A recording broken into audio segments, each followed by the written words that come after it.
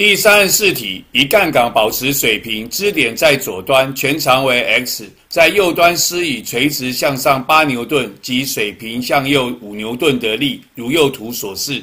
杠杆重量及摩擦力忽略，此时杠杆所受的合力矩为逆时钟七百六六十牛顿公分，则 x 应为多少？首先，我们看到这五牛顿的呢是不会造成力矩了，因为它的力线呢通过支点，那么。